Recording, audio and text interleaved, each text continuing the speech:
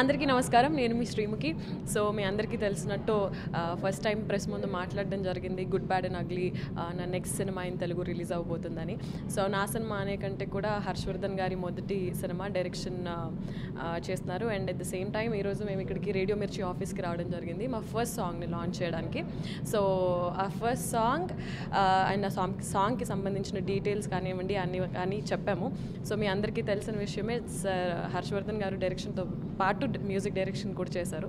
So he's the singer of the song too so చాలా హ్యాపీగా ఉంది. So eighties backdrop movie and songs కూడా మీ అందరికీ uh, అదే ఫ్లేవర్లో యూనో ఎయిటీస్ స్టైల్లో ఇళయరాజా గారి uh, స్టైల్ ఏదైతే ఉందో అలా ఉంటుందని నాకు అనిపిస్తుంది. సో యా ఈరోజు ఫస్ట్ సాంగ్ లాంచ్ చేసాము స్లో మెల్లగా mm, uh, ఇంకా మిగతా మూడు సాంగ్స్ కూడా లాంచ్ చేసేసి will be coming very soon to you people hi నేను మీ హర్షవర్ధన్. ఇప్పుడే good bad ugly movie cinema first song release చేసాం రేడియో మిర్చిలో. And I'm very happy to tell you that ఈ మూవీకి నేనే మ్యూజిక్ చేశాను పాటలు పాడాను చాలా చాలా చేశాను. అలా అనకుండా ఒక సింగిల్ లైన్లో చెప్పాలంటే ఒక మూవీ చేశానండి. ఫస్ట్ టైం డైరెక్ట్ చేశాను. మీ అందరికీ నచ్చుతుంది అనుకుంటున్నాను. నా మీద ఉన్న ఎక్స్పెక్టేషన్స్ ఏవైతే ఉన్నాయో ఒక రైటర్గా నన్ను ఆదరించారు ఒక ఒక యాక్టర్గా ఆదరించారు. అలాగే ఇప్పుడు నా మ్యూజిక్ని నా డైరెక్షన్ కూడా మీరు ఆదరిస్తారని అనుకుంటున్నాను.